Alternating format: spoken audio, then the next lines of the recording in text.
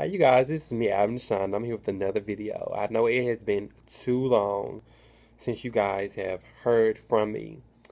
So I decided to come on here and make an, another little video and, and update you guys on what I'm doing and what I've been doing for the past couple of months.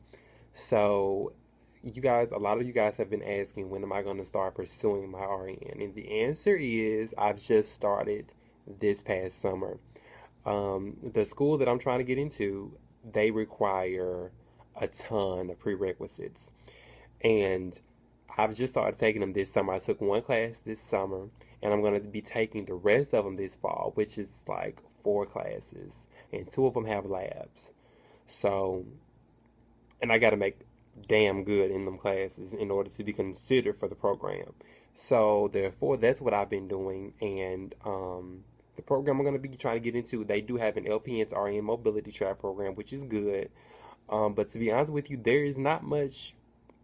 Only thing, only good thing that being an LPN does is make only shortens the program for you for one year. But far as the prerequisites, the entrance exams, everything else, you still have to do as if you're fresh out of school or not even already a nurse. So therefore, that's the bad thing about it. There are a lot of other programs that are outside of my city, but I really want to stay in my city because I'm more comfortable here. I'm comfortable with the school I'll be going to. I'm comfortable with my job. I'm comfortable with every I'm comfortable with everything. So therefore I really don't want to move, but I am going to apply to another program um for the same like time period that starts the same time. So therefore I I'll have an option open, and I will. And if and if I decide to move, that's just what I have to do, and it is what it is.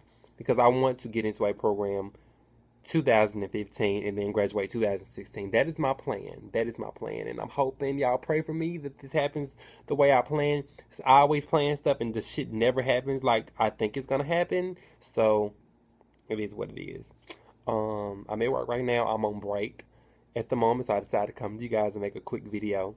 Um, but that's it. Um, I took A and P. The prerequisites for the program are A and P one and two, microbiology, English composition one, English composition two, and an elective.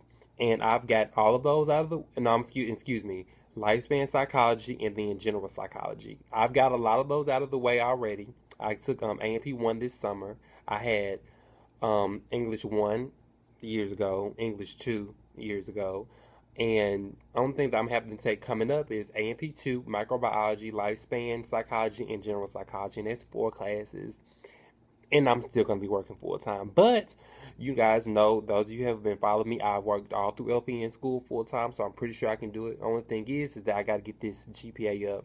And then I took the ACT, which is the school's entrance test. I took it once. I made a 20 but they want me to get it up to make to so I, so I can be a shoe in for the program. So I'm going to take it again this in this um, fall. So therefore, yeah, I'll try to increase it as much as I can, but I don't know how much better I can do because the ACT in high when I took it in high school, I took it like three times in high school, and the highest I could do in high school was a 21, and I took it three times. And the ACT has to be within five years, so they have to take the most current ACT score.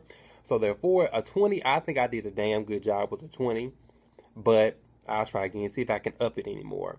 Um, and they go by a point system, and you get like so many points for your ACT score, so many points for the fact that you're a GPA, then you get a couple points for already being an LPN, then you get some points for living in the area within the city limits, and then you get some um, points for experience. So therefore, that's what I'm trying to do. I'm hoping everything is going to work out. You guys, guys, please pray for me. I hope everything works out. I'm a little, opt- I'm, I'm optimistic, but then I'm kind of nervous. So that's all, you guys. Um, hit me up. Follow me on Instagram. Um, Adam Dashawn at Adam Dashawn A D A M D A S H A W N, and that is all. I love you guys. Bye.